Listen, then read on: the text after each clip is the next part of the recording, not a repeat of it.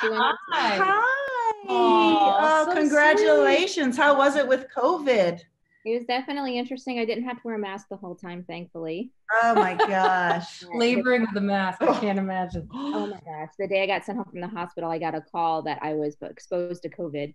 Oh my god. And thankfully, I did not catch it because all the nurses and the practitioners had N95s and like, you know, cloth masks on. But that was not a good call to get right when you get home. No, not at all. There was a potential exposure, but anyways, but we're Well, good. Congratulations. Here's your medal for having a COVID baby. Thank you. Yeah, so obviously she's not old enough to appreciate Gabby's dollhouse yet, but yes, I have been watching it with her in my arms because this is where she is right now.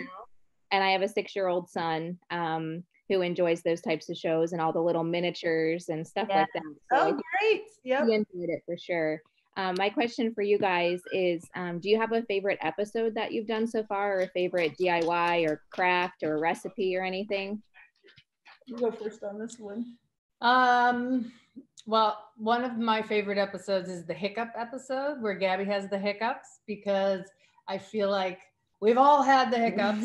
um, and we really pushed ourselves with this episode to come up with things that felt really quirky and unique. We're always trying to say, you know, there's so many preschool shows out there and everybody's done the birthday show or the pirate show. Like how does Gab, how does Gabby do it differently? And I feel like Hiccups really epitomizes that with all the different things she tries to get rid of her hiccups. They all just feel sort of a little bit wacky and crazy and unique. Um, and also with the growth mindset, she doesn't give up. So even though something didn't work, she still appreciates how much fun it was and she tried and she doesn't give up.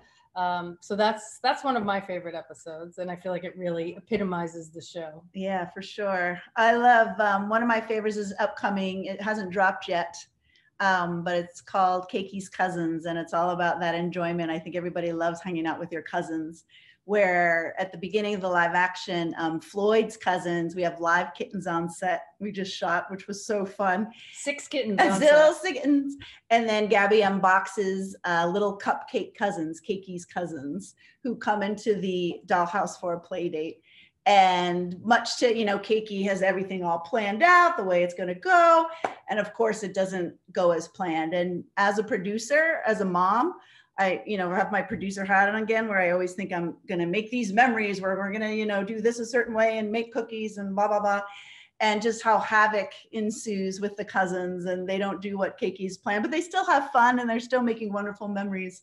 Um, and I just love that arc of Cakey realizing that, you know, just roll with it. It's okay. We're making great memories. Everyone's having fun. And as a mom, it's a good reminder to me just Yep. to like relax. It's all right. It didn't go as planned, but you know, the kids are smiling and laughing and bonding and connection is happening. So that's good. So that's one of my favorites. But I, we love them all. I mean, they're all so special in their own way, just like kids. Yep, I completely agree. I like the hiccups one too. I obviously I haven't seen the one that you're speaking of yet, but uh, the hiccups one was kind of cute. I was wondering, like, are there any unique ways to get rid of hiccups? Like, um, well, we came up with three right Yeah. there in the show. Yeah, we love the idea of kids making making their own uh, hiccup machine. You know, Yeah, sometimes one of the best ways to get rid of the hiccups is like focus on something else. So So it just might work. it might. You never never know. All right. So um Laila is amazing as Gabby, by the way. I am like you. I she does such a good job of like transitioning from like live action and keeping you engaged the entire time. And so um as far as casting for the show, um, how did you find Laila? Was she like, you know, you know, just a random kid that was like, Hey, I want to do this or no, like, uh, like I want to be her. when we when we were casting for Gabby, DreamWorks casting department really put out a wide net all over the country. We saw over a thousand girls Girls. for Gabby, um, and when we saw Lila, she just she had this connection, and there was something just so natural about her that we felt like she could really connect with kids. She wasn't it didn't feel like she was acting, even though she's an amazing actress. She just felt really natural and that she was playing. And um, we just actually wrapped 27 episodes shooting here in uh, New York with Lila, and um, she's just she's an she's amazing. She's such a great kid, and she embodies the real growth mindset and humor, and talk about self confidence in herself, but that you know laughing at herself too when she makes mistakes. And uh, animation wise, you know, just she translated so well to animation. She has these amazing eyebrows, Jen, and I love that you know they they kind of can go one up one down. They're just so expressive and that translated so well when she became an animated. And she was she had never done voiceover before and she just knocked it out of the park. Yep. yeah she's definitely talented. Like i said i, I want to be her. Like i want to get those you know those presents coming down the slide. And I know, I know. we laugh we laugh about her she's just so beautiful to look at too. Just her, her hair is oh. amazing. I know. We love her hair. Yeah my hair's never been like that she just has this way of connecting that you know immediately when we saw her we were like oh, it's gabby yep so DreamWorks. DreamWorks made that happen. Yep. They they worked really hard in finding. we went through so Gabby. many rounds, and we'd be like, eh, "We don't feel like we found her yet. Can we keep going?" And they said, "Yes, we'll keep going until we found Lila." And then it was well, good. I'm glad that you found her because she definitely is is good in the show. Oh, thank, thank you. you. So, um, really quickly, I was curious if there was a, a, favorite part that you guys got to to bring in from your childhood. Is it like your love for cats, or you know, the miniatures, the the dollhouse, or what was your favorite part that you got to bring in?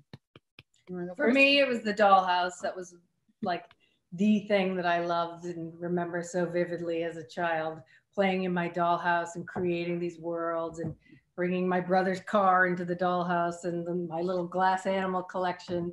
We both loved miniatures as kids. Yeah, I would say for me, it was the miniatures. I loved collecting all those little Hello Kitty erasers and all the little mini pencils and all the little, you know, tchotchkes and uh, even making out of Play Doh like miniature bacon and eggs and little fruit bowls and just love that it was just so special. And now to be able to put, you know, combine that all together was just a dream come true. And I joke with Jen, you know, I have three boys, so I love being able to play in the dollhouse in this way. and again, not that they didn't have dollhouses when they were little, but they didn't really spark to it as much as I hoped they would. so I get to play now. awesome. Well, thank you guys so much. Thank, Thank you. you. And congrats. Look at Enjoy that baby. Oh, I wish I could smell her head.